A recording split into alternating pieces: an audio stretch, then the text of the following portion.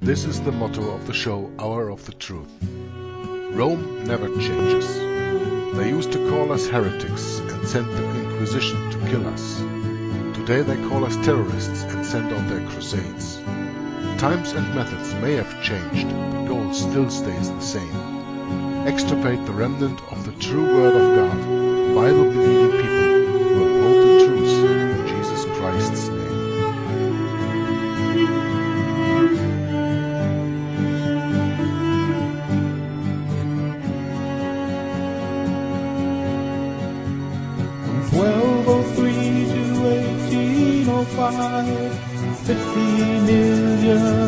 million Christians died, suffering at the hands of Rome, cause they believed in Christ alone. They died through Europe, especially Spain, for they saw all but Christ is vain. He suffered by his death for men to save them from their awful sin. Six hundred years of martyred saints that history cannot erase. With iron heel and iron hand, the Roman popes rule the land. Those ignorant of history may be swept into apostasy. We won't be loved by Rome's sweet lie with 50 million reasons why.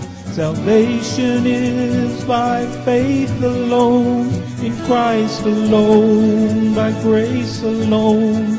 A sovereign God give faith to man. Salvation's in the Maker's hand. This gospel offends Rome today. They offer up another way, a counterfeit, a compromise. Beware the ancient papal lie with such a cloud of witnesses who by grace died in their Lord. Recall their memory to say, by the same faith we live today.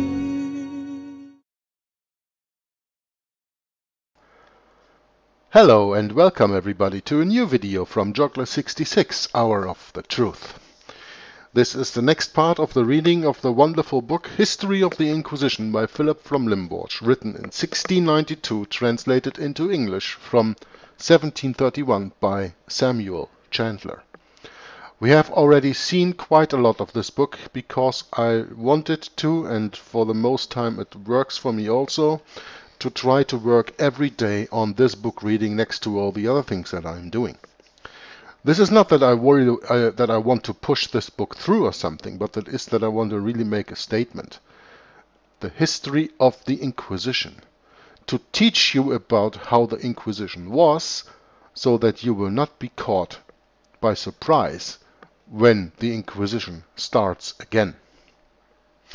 But without much more introduction, I think we should go and go back to the book reading, which I will start on this page, uh, which is page 77, in the blue highlighted color here on the last paragraph of page 77, which means that we retreat for a paragraph of two for continuity sakes.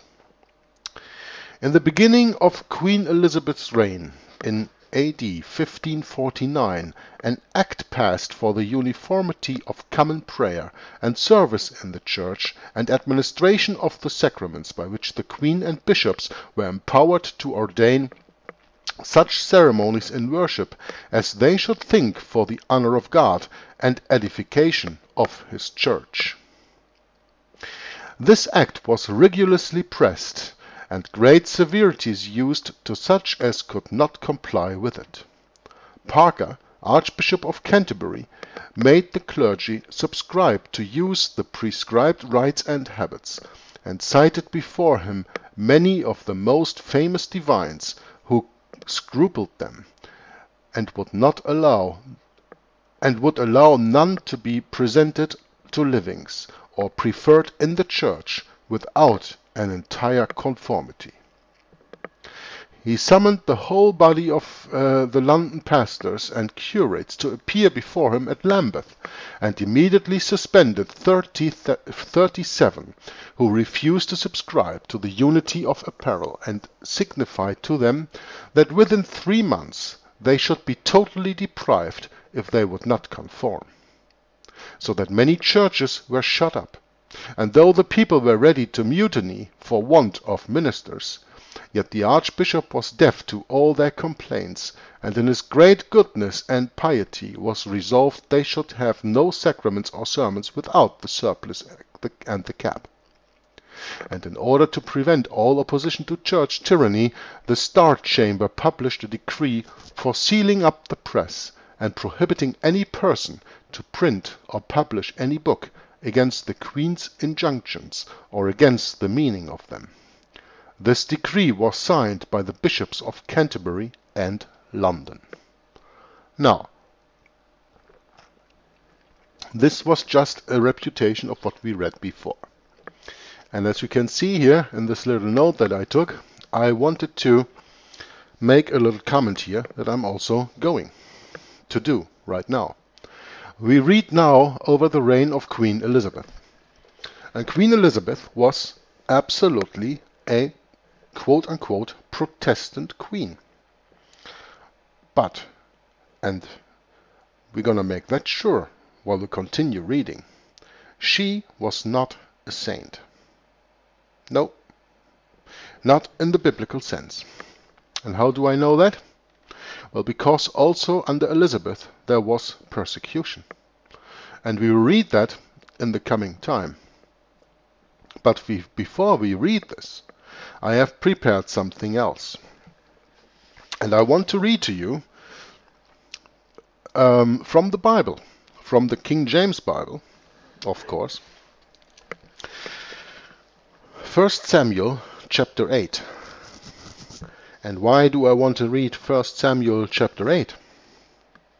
Because I just said that Queen Elizabeth, although she was Protestant, she was not a saint she was not a true biblical ruler of people because of persecution. And when I read this in this book, History of the Inquisition, the same thought came up to me that I often have. Why, O Israel, did you forsake God as your highest authority? Why, O Israel, did you fall into the apostasy and wanted to have a king like the heathens do? Well, when we go back to the Bible, into Samuel, 1 Samuel chapter 8, we see where the Israelites, the people who should adhere to God and God only, as the first commandment is, how these people did not want God to rule them over, uh, to, to rule over them anymore by the clergy, by the priests that were ordained by God, but they really wanted to have an earthly king, like all the heathens do, like all the nations had. And the problem is, when you take the good, you also have to take the bad.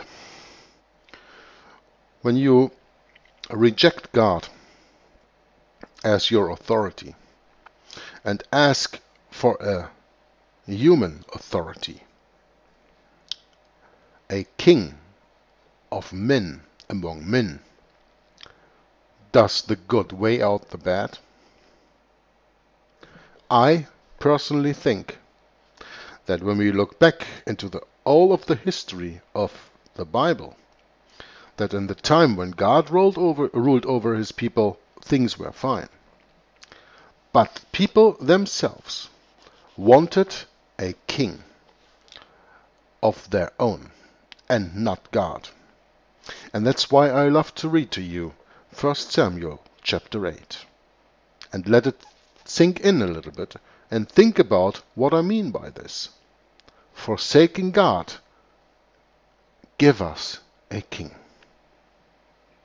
And it came to pass when Samuel was old that he made his sons judges over Israel.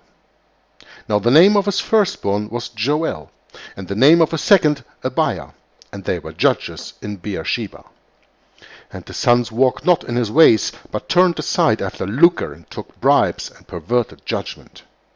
Then all the elders of Israel gathered themselves together, and came to Samuel unto Ramah, and said unto him, Behold, thou art old, and thy sons walk not in thy ways. Now make us a king to judge us like all the nations. But the thing displeased Samuel when they said, Give us a king to judge us. And Samuel prayed unto the Lord. And the Lord said unto Samuel, Hearken unto the voice of the people in all that they say unto thee. For they have not rejected thee, but they have rejected me, that I should not reign over them.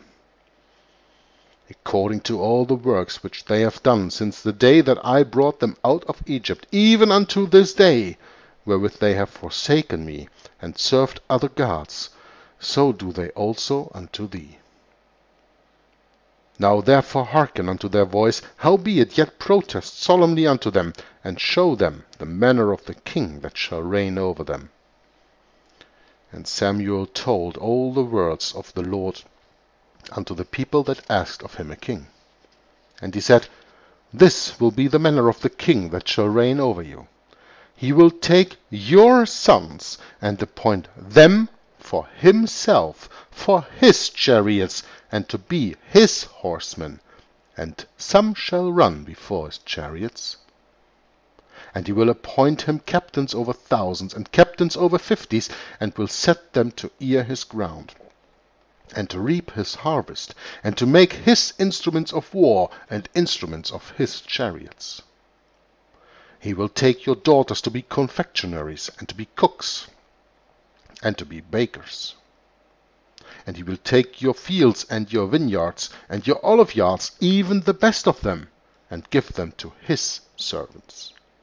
And he will take the tenth of your seed and of your vineyard, and give to his officers and to his servants. And he will take your men servants and your main servants, and your godliest young men and your asses, and put them to his work. He will take the tenth of your sheep, and ye shall be his servants. And he shall cry out in that day because of your king which ye shall have chosen you, and the Lord will not hear you in that day. Nevertheless the people refused to obey the voice of Samuel, and they said, Nay, but we will have a king over us, that we may also be like all the nations and that our king may judge us, and go out before us, and fight our battles. And Samuel heard all the words of the people, and he rehearsed them in the ears of the Lord. And the Lord said to Samuel, Hearken unto their voice, and make them a king. And Samuel said unto the men of Israel, Go ye every man unto his city. What we've just read was the biblical account of the Israelites rejecting God as their righteous leader, and they preferred someone out of their own ranks to be made a king. This is something that I find quite interesting and quite surprising when we consider this chapter began saying His sons walked not in his ways, but turned aside after lucre, and took bribes, and perverted judgment. And then all the elders of Israel gathered themselves together, came to Samuel unto Ramah, and said unto him, Listen closely, Behold, thou art old, but thy sons walk not in thy ways. Make us a king to judge us like all the nations. So did Israel already see that the sons of Samuel did not do righteous unto the people. And what was their solution? To throw God out completely and to put one of their own being made king above them. So they see the bad example of the sons of Samuel, and instead of asking for new priests, more righteous priests in their stead, they said, no, make people like this our rulers. Make people like this our king, with all consequences that we have to bear. Now, what does this have to do with the history of the Inquisition? Well, this has to do with the history of the Inquisition because we are reading here about rulers. We are reading here about kings and queens. We have been, we do, and we will in the future readings. And there has never ever been a king or a queen in this carnal world reigning completely biblically and only to the advantage of the people that he ruled or she ruled. And that is why I think this first Samuel chapter 8 had to be built in the reading of this history of the Inquisition. People were asking for their own doom. And no man, no woman ever in this world reigned as righteous as God would reign. And that's the problem. I do this also to make sure to your understanding that you see that I do not sanctify or no no sanctify is the wrong word that, that, that I that I am not in favor of any man ruling over man. God is the ruler over man, not man ruler over man. If that man be a man or be a woman, that is of no importance. The point is that only God is fit to rule over mankind. And here in 1 Samuel chapter 8 we see how the Israelites forsook God. And every time we read about worldly rulers in this book or anywhere else, I want you to remember 1 Samuel chapter 8. Now we continue the reading with the first full paragraph on page 78. The rigid and fanatical zeal for habits and ceremonies caused the Puritans to separate from the established church, and to hold private assemblies for worship. But the Queen and her prelates soon made them feel their vengeance. Their meetings were disturbed, and those who attended them were apprehended and sent in large numbers, men and women, to Bridewell, to Bridewell for conviction. Others were cited to the spiritual courts and not discharged till after long attendance and their charges.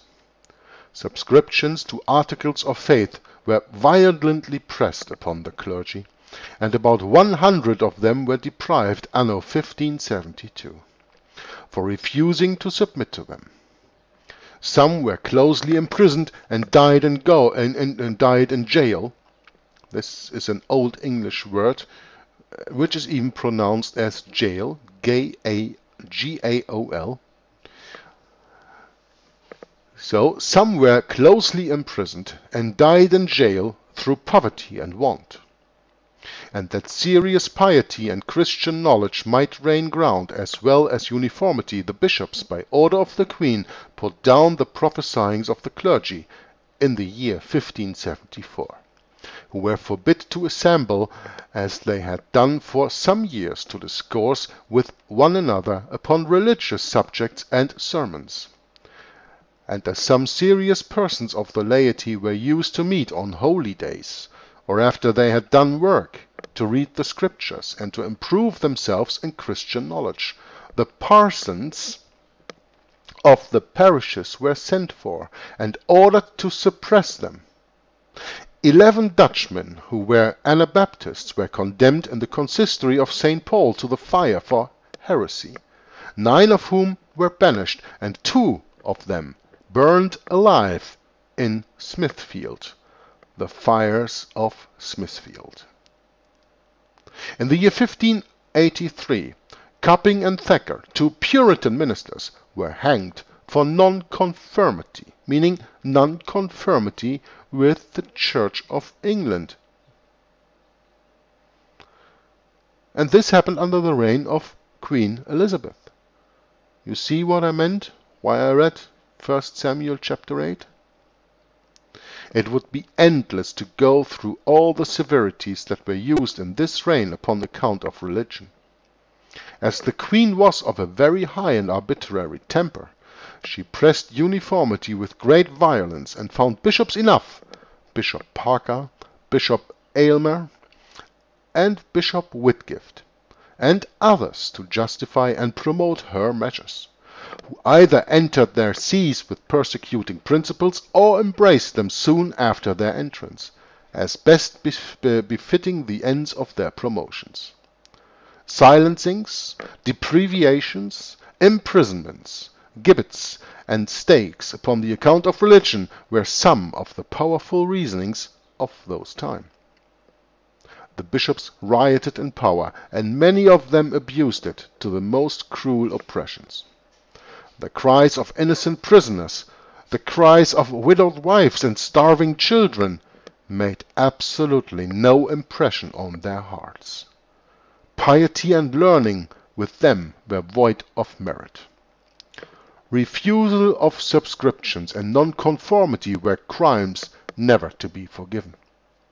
A particular account of these things may be seen in Mr. Neal's excellent History of the Puritans, who hath done justice to that subject.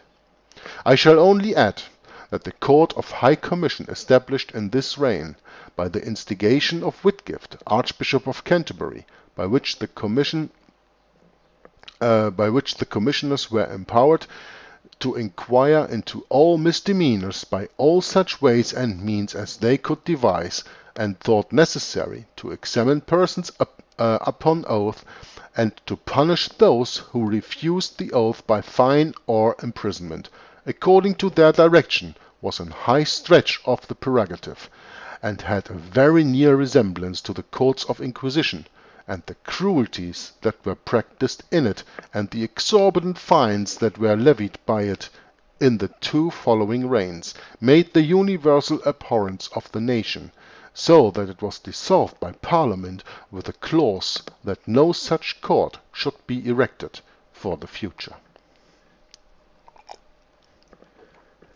Now we read of King James the First.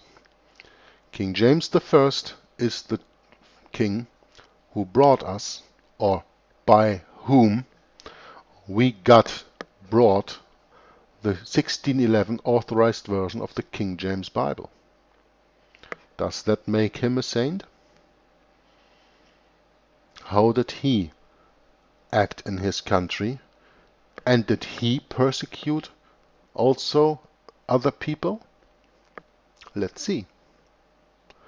King James I, who was bred up in the Kirk of Scotland, which professed the faith and discipline of those called Puritans in England, and though he blessed God for honoring him to be king over such a kirk, he sincere, uh, the sincerest kirk in the world, yet, upon his accession to the English throne, soon showed his aversion to the constitution of that kirk, and to their brethren, the Puritans in England. The Puritans were fleeing largely also from England into the then New World that today is known as the United States of America. Puritans have always been persecuted wherever they were. And that was no exemption here in England. These were solicitous for a further reformation in the church, which the bishop opposed, instilling this maxim to the king, quote, No bishop, no king, unquote, which as stale and false a maxim as it is, hath been lately trumped up and publicly recommended in a sermon on the 30th of January. In the conference at Hampton Court, His Majesty King James I not only sided with the bishops, but assured the Puritan ministers who were sent for to it that quote, he had not called the assembly together for any innovations, for that he acknowledged the government ecclesiastical as it then was, to have been approved by God himself, giving them to understand that if they did not confirm, he would either hurry them out of the kingdom or else do worse. Unquote. And these reasonings of the king were so strong that Whitgift, Archbishop of Canterbury, with an impious and founded flattery, said, quote, He was verily persuaded that the king spoke by the Spirit of God. Unquote.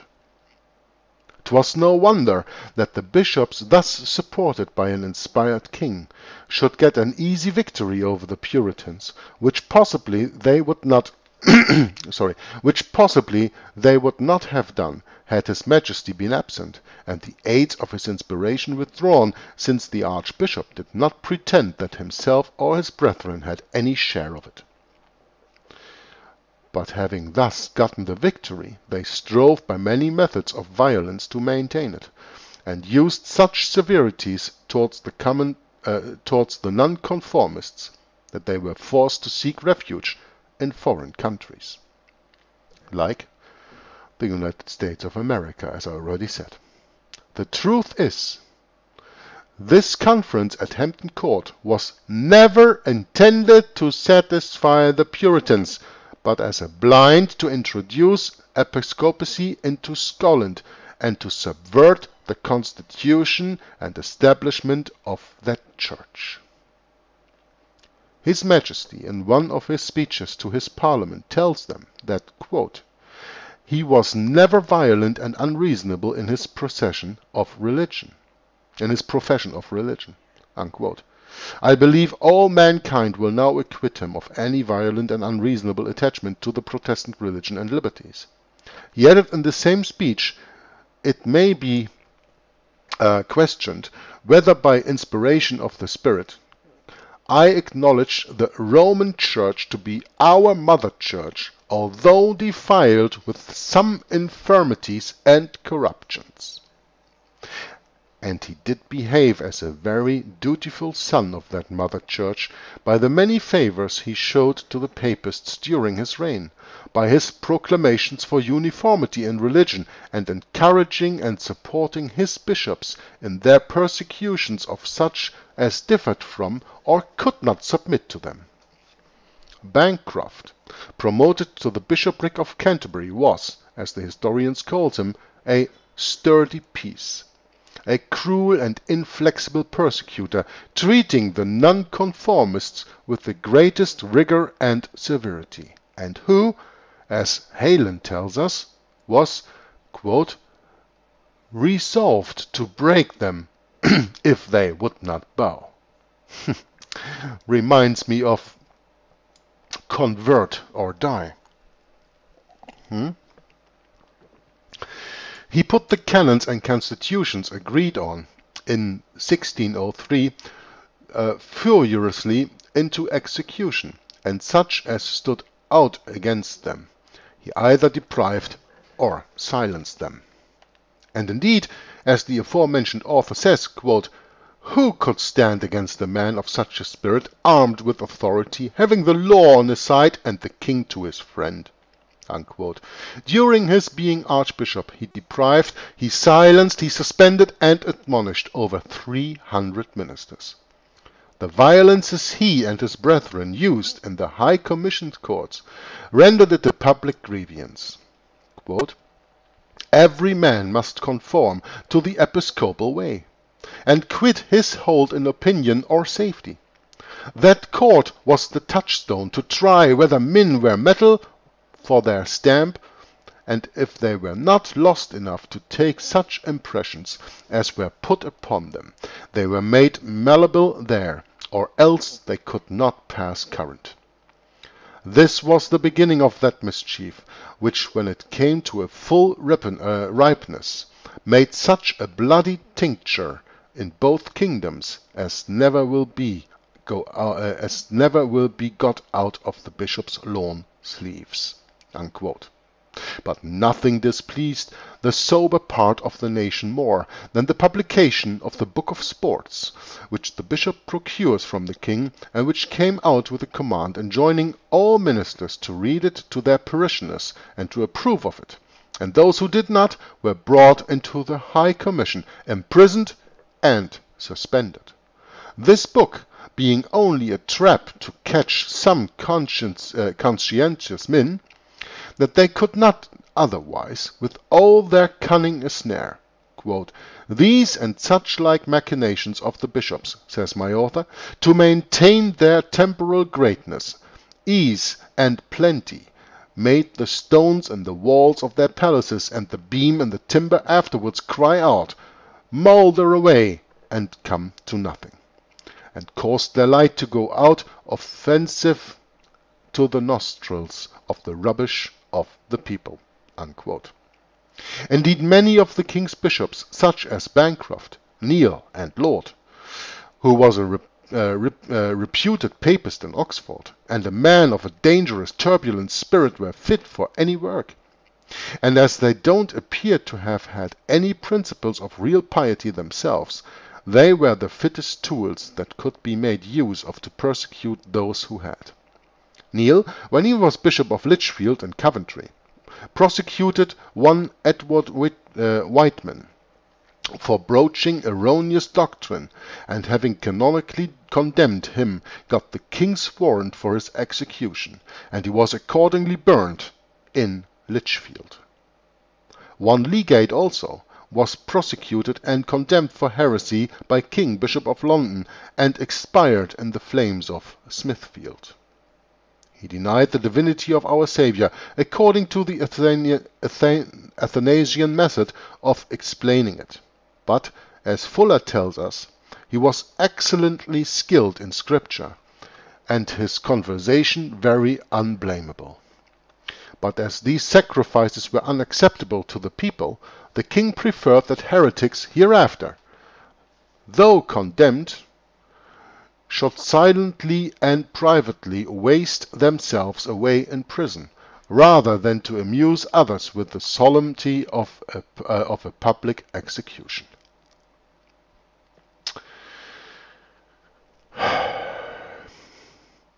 But as the sacrifices were unacceptable to the people, the king preferred that heretics hereafter, though condemned, should silently and privately waste themselves away in prison, rather than to amuse others with the solemnity of a public execution. Why did I read this twice now? Well, because this is exactly what happens today in the so-called secret prisons of the CIA and other intelligence agencies all over the world. These people are put into prison, probably apprehended in the middle of the night, apprehended, put into prison, and there wasted away instead of being publicly executed. You know, the people do not like public executions, except it is for a TV show like I have heard Hunger Games and these things are.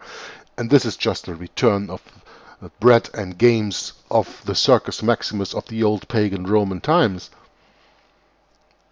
But when a king or a ruler, whoever it is, wants to get rid of any opposition, the safest thing to do is fill the prisons and let them waste away in prison rather than to amuse others with the solemnity of a public execution.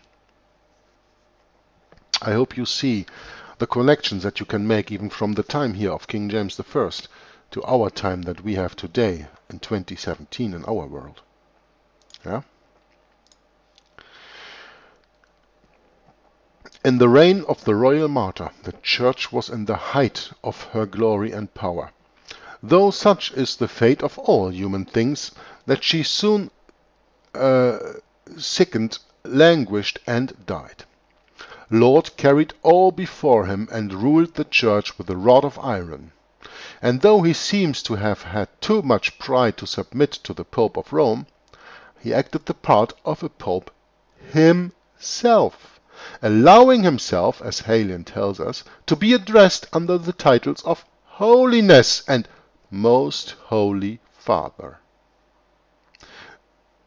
The things are seemed principally to have had at heart were the introducing of an arbitrary government into the state, the suppression and extirpation of nonconformity, and bringing the Church of England in rites and ceremonies to as near a resemblance as possibly he could to the Church of Rome.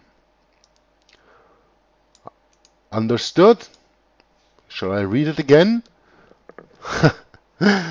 This is already what has been done since the Oxford movement in 1830 in England again.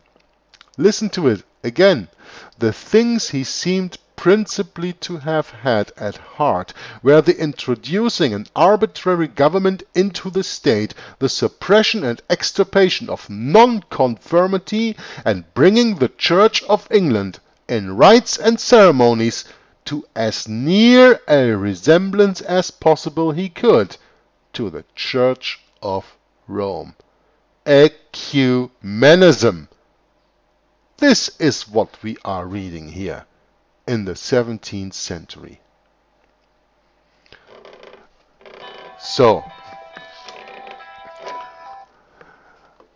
this appears by his protecting Montague Mainwaring and Sibthorpe, who had infamously preached up the king's absolute power, and making the two former bishops of the church; by his persecuting the Puritan ministers in the Star Chamber and High Commission Court, who, as Heylin tells us, Laud used to say, were as bad as the Papists, imprisoning and fining, and forcing many others to take sanctuary in New England; by this uh, by this putting down and silencing all lecturers throughout several dioceses of the kingdom; by his suspending and ejecting such as refused to read the Book of Sports; by his forcing the French and Dutch churches to a conformity with the rites and ceremonies of the Church of England; by his obliging the Scots to receive episcopacy,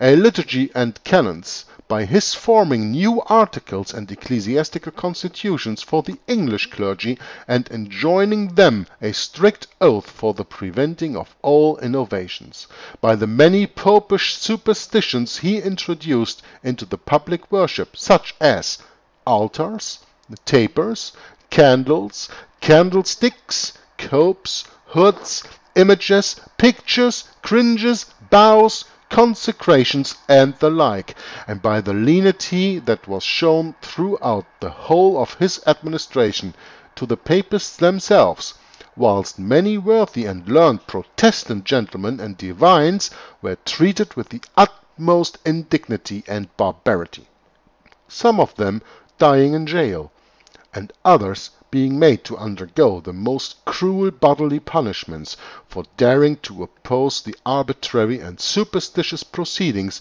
of this furious and relentless prelate.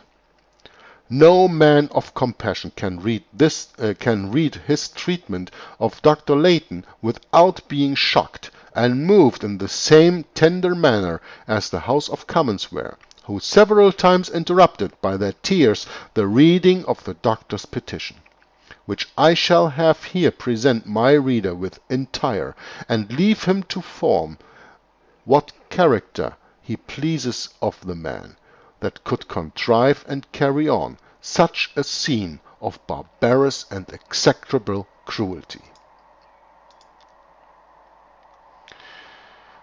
To the Honourable and High Court of Parliament, the humble petition of Alexander Leighton, prisoner in the Fleet we read, humbly showeth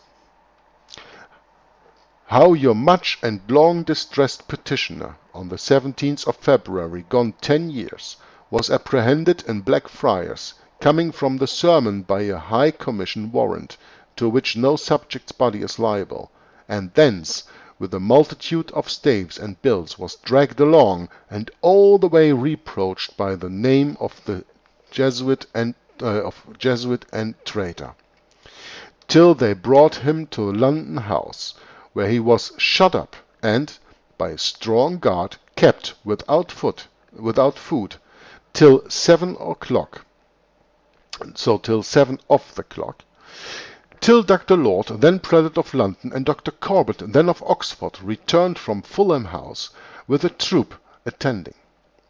The gaoler of Newgate was sent for, who came with irons and with a strong power of halberds and staves. They carried your petitioner through a blind hollow way, without pretence or, examin uh, or examination, and opening up a gate into the street, which some say had not been opened since Queen's, Queen Mary's days.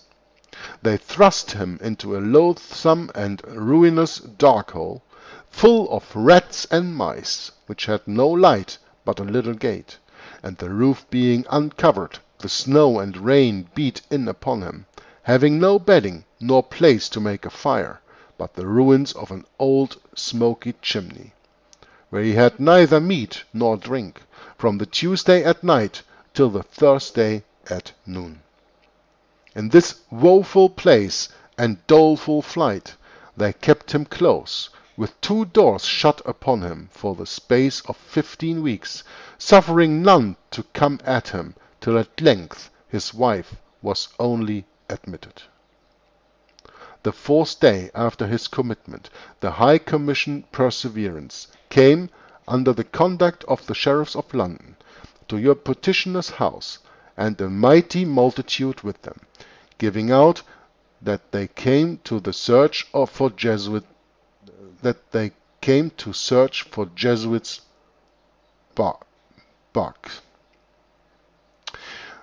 There those violent fellows of prey laid violent hands upon their petitioner's distressed wife, with such a barbarous inhumanity as he is ashamed to express, and, and so wristed every soul in his house, holding a bent pistol to a child's breast of five years old threatening to kill him if he would not tell where the books were, though which the child was so affrighted that he never cast it. They broke open presses, chests, boxes, the boards of the house, and everything that they found in their way, though they were willing to open all. They and some of the sheriff's men spoiled, robbed, and carried away all the books and manuscripts they found, with household stuff your petitioner's apparel, arms, and other things, so that, so that they left nothing that liked them. Notwithstanding, your petitioner's wife told the sheriffs they might come to reckon for it. They carried also a great number of divers of your petitioner's books, and other things, from one Mr. Archer's house, as he will testify. Further, your petitioner being denied the copy of his commitment by the gaoler, by the jailer of Newgate, his wife, with some friends, repaired the sheriff repaired to the sheriff, offering him bail, according to the statute in that behalf, which being shewn by an attorney at law, the sheriff replied that he wished the laws of the land and privileges of the subject had never been named in the Parliament, and yet your petitioner, having thus suffered in body, liberty, family, estate, and house, at the end of fifteen weeks was served with a subpoena on information laid against him by Sir Robert Heath, then His Majesty's Attorney General, whose dealing with our prisoner was full of cruelty and deceit. In the meantime it did more than appear to four physicians that poison had been given him in Newgate, for his hair and skin came off in a sickness, deadly to the eye in the height thereof. As he did lie, censure was passed against him in the Star Chamber, without hearing, which had not been heard of, notwithstanding of a certificate from four physicians, and affidavit made by an attorney, of the uh, of the des of the desperateness of the disease. But nothing would serve Dr. Laud but the highest censure that never was passed in, the, uh, in that court to be put upon him. And so it was to be inflicted with knife, fire, and whip, at and upon the pillory, with then thousand pounds fine, which some of the lords uh, conceived should never be inflicted. Only it was imposed as on a dying man to terrify others. But the said doctor in his com uh, and his combinants caused the said censure to be execu executed the 26th day of November following with a witness, for the hangman was armed with strong drink the night before, in prison, and with threatening words to do it uh, to do it cruel, cruelly your petitioner's hands being tied to a stake, besides all other torments, he received thirty six stripes with the tribe cord. After which he stood almost two hours on the pillory, in cold frost and snow, and suffered the rest, as cutting off the ear, firing the face, and flitting and uh, flitting of the nose so that he was made a theatre of misery to men and angels. And being so broken with his sufferings that he was not able to go, the warden of the Fleet would not suffer him to be carried in a coach, but he was forced to go by water, to the further endangering of his life, returning to the jail after much hard cruel usage, for the space of eight years, paying more for a chamber than the worth of it having not a bit of bread nor drop of water allowed. The clerk of the Fleet, to top up our petitioner's sufferings, sent for him to his office, and without warrant or cause given by our petitioner, set eight strong men followers upon him, who, tore his clothes, bruised his body, so that, was, so that he was never well, and carried him by head and heel to the loathsome and common jail, where, besides the filthiness of the place and vileness of the company, divers contrivances were laid for taking away the life of our petitioner, as shall manifestly appear if your honours will be pleased to receive and peruse a schedule of that subject. Now the cause of all this harsh, cruel, and continued ill usage, unparalleled yet upon any of the since Britain was blessed with Christianity, was nothing but a book written by our petitioner, called Pious Plea against the Prelacy, and that by the call of divers and many good Christians in the Parliament time, after divers refusals given by our petitioner, who would not publish it being done till it had the view and approbation of the best in the city, country, and university, and some of the Parliament itself. In witness whereof he had about five hundred hands, for revealing of those names was promised more favours by Sir Robert Heath than he will speak of. But denying to turn accuser of his brethren, he was threatened with the storm, which he had felt in the full wherein, through God's mercy, he had lived, though but lived, choosing rather to lay his neck to the yoke for others than to release himself by other sufferings. Further, the petitioner was robbed of divers goods by one Lithborne, Graves and others, officers and servants of the fleet, amounting towards the value of thirty pounds, for which Lythorne offered composition by a second hand upon the hearing of the approach of Parliament, but our petitioner, notwithstanding his necessity, refused to hearken to any such illegal and dangerous way. To enumerate the rest of our petitioner's heavy pressures would take up a volume, with which he will not burden your honours till further opportunity and therefore he humbly and heartily entreateth that you would be graciously pleased to take this his petition into your serious thoughts, and to command deliverance, that he may please that he may plead his own cause, or rather Christ's and the State's; as also to afford such cost and damages as he has suffered in body, estate, and family, having been prisoner, and that many times, in the most nasty prisons, eleven years not suffered to breathe in the open air; to which give him leave to add his sufferings in all those particulars some sixteen years ago, for publishing a book called The Looking Glass of Holy War.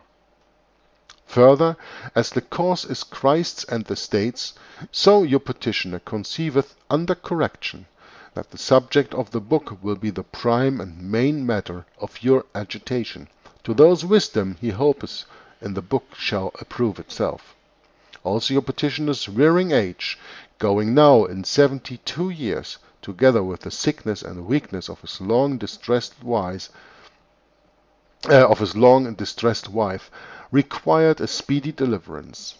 Lastly, the sons of death, the Jesuits and Jesuited have so long insulted in their own licentious liberty and over the miseries of your servant and others, who, for bearing more motives, craves pardon for this uh, prolixity, being necessitated thereto from the depths and lengths of his miseries.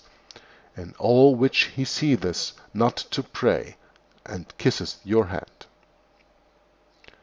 Wilt thou not deliver them that are drawn unto death, and that those are ready to be slain? These and the like violences of Laud, of Laud and his creatures drew down the just vengeance of the Parliament on his head, and involved the Church of England in self uh, and sorry, I read the sentence again. These and the like violences of Laud and his creatures drew down the just vengeance of the Parliament on his head, and involved the Church of England itself in his ruin. Bishops and common prayer were no, no, were now no more. The Church was formed after a quite different model and the Presbyterian discipline received and established, both the Lords and Commons taking the solemn league and covenant which was intended for the utter abolishing pre prelatical government. The writers of the Church party think this is an everlasting brand of infamy upon the Presbyterians. But how doth this throw greater infamy upon them? Than the subversions of presbytery in Scotland, and the imposing canons and common prayer of that nation doth on Laud and his creatures. If the alteration of the established religion in any nation be a crime in itself, 'tis for, for in every nation, and I doubt not but the Scotch Presbyterians think that that Archbishop and the prelatical party acted as unjustly, illegally, tyrannily uh, illegally and tyrannically in introducing the English form of church government and worship into Scotland, contrary to their former settlement and the inclination of almost the whole nation, as the High Church party can do with respect to the Presbyterians, for altering the form of inter-establishment in England, and indeed the same arguments that will vindicate the alternations made in Scotland by the king and the bishops will vindicate those made in England by the Parliament and the Presbyterians. It would have been highly honorable to the Presbyterian party had they used their power, when in possession of it, with moderation and avoided all those methods of persecutions and suspensions they had themselves felt the effects of in former times. Yeah being persecuted yourself, and then instead of showing mercy to others, persecute them self, yourself in the same way that you were persecuted, does not show a sign of real intelligence and uh, does not even show a, signs, a sign of reconciliation, does it? I, I think this is a quite very important sentence here. It would have been highly honorable to the Presbyterian party had they used their power when in possession of it with moderation, and avoided all those methods of persecutions and suspensions they had themselves felt the effects of in former times. But to do them justice, they had no great inclination for moderate measures. As soon as they came into the church, all others must out must out who would not comply, and submit to sequestrations and imprisonments.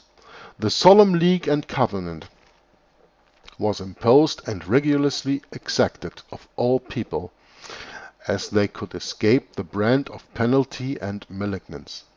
Many of the episcopal clergy, both in the city and in the country, were expelled their livings, though by a generosity not afterwards imitated by them, provision was made for the support of their wives and children. The Lord Mayor, Aldermen, and the Common Councilmen of London presented a remonstrance to the Parliament, desiring a strict course and suppressing all private and separate congregations, that all Anabaptists, all heretics and the like, as not conform to the public discipline, may be declared and proceeded against that all be requested to obey the government settled or to be settled, and that none dissect dis this is a very difficult word again huh? and that none dissected to the Presbyterian government by employed in any place of public trust. An ordinance of Parliament was made by which every minister that should use the common prayer in church or family was to forfeit five pounds for the first time, ten pounds for the second, and to suffer a year's imprisonment on the third. Also every minister for every neglect of the directory was to pay forty shillings, and for every contempt of it, by writing or preaching to forfeit, that the direction uh, at the discretion of those before the whom he was convicted, any sum not under five pounds, nor above fifty pounds. The Parliament also appointed elderships to suspend, at their uh, discretion, such whom they should judge to be scandalous from the sacrament with the liberty of appeal to the classical eldership. They set up also arbitrary rules about the examination and ordination of ministers by trayers, who were also found in faith and such as usually received the sacraments. And in these things they were quickened by the Scots, who complained that reformation moved so slowly, and that sects and errors increased, and endeavours were used for their toleration. Great restraints also were put upon the liberty of the press, by several ordinances made that for that purpose. And to say the truth, when they once got uh, presbytery established, they used the same message of suspensions, sequestrations, and fines that the prelatical party had done before, though not with equal severity, and were as zealous for uniformity in their own covenant and discipline as the bishops were for liturgy, uh, for, uh, were for hierarchy, liturgy, and ceremonies. But the triumphs of the presbytery and covenant were but short. Upon the restoration of the, one, of the royal wanderer, Charles II, prelacy, uh, prelacy immediately revived, and exerted itself in its primitive vigor and severity. In his Majesty's first declaration to his loving subjects, he was pleased to promise a liberty to tender consciences, and that no man should be disquieted or called in question for differences of opinion in matters of religion, and that he would consent to an Act of Parliament for the full granting that indulgence. But other measures soon prevailed. In the second year of his restoration the Act of Uniformity was passed, by which all ministers were to read and publicly declare unsigned assent and consent to all and everything contained in and described by the Book of Common Prayer, before the feast of St. Bartholomew, then ensuing, under the penalty of immediate and absolute deprivation. The consequence of this act was that between two and three thousand excellent divines were turned out of their churches, many of them, to say the least, as eminent for learning and piety as the bishops, who were, to, uh, who were the great promoters of this barbarous act, and themselves and families, many of them, exposed to the greatest distress and poverty. This cruel injustice obliged the ejected ministers and their friends to set up separate congregations, and occasioned such a division from the established church as will, I hope, ever remain to witness against the tyranny of those times, and the reverend authors and promoters of that act, to maintain the spirit and practice of serious religion, and as a public protestation of the civil and religious liberties of mankind till time shall be no more, or till the Church shall do herself the justice and honor to open wide her gates for the reception of all into her communion and ministry, who are not rendered incapable of either Jesus Christ, the great Shepherd and Bishop of souls. But, however, measures were then soon taken to disturb their meeting. In 1664 the bill against frequenting uh, conventicles passed, and the first offence made punishable with five pounds, or three months' imprisonment; the second offence with ten pounds, or six months' imprisonment; and the third with banishment to some of the foreign plantations. Sham plots being fathered on the dissenters to prepare the way for, for these severities.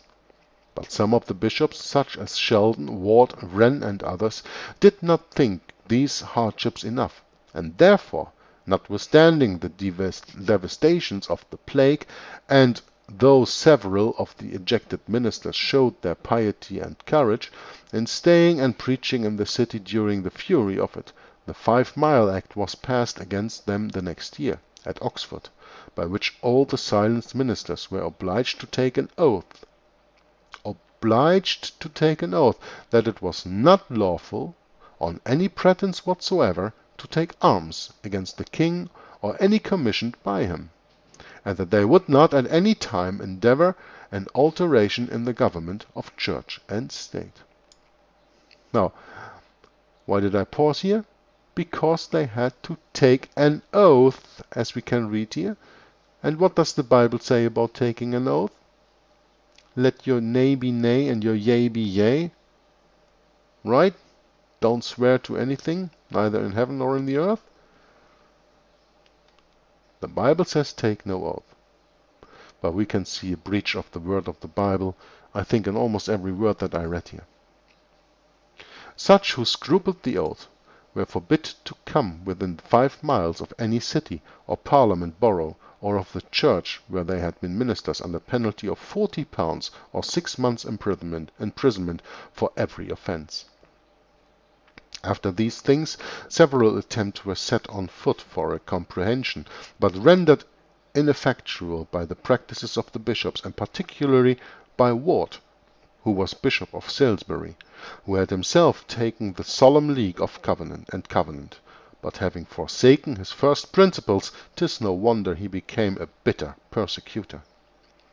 In the year 1670 another severe act was passed against them, by which it was, uh, by which it was provided that if any person upwards of sixteen should be present at any conventicle under color of exercising religion in any other manner than according to the practice of the Church of England where there were five persons or more besides those of the said household, the offenders were to pay five shillings for the first offence, then ten shillings for the second, and the preacher to forfeit twenty pounds for the first and forty pounds for the second offence.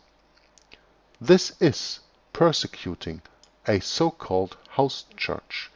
This is persecuting what Jesus said, wherever two or three of you are gathered together in my name, in their midst that I will be.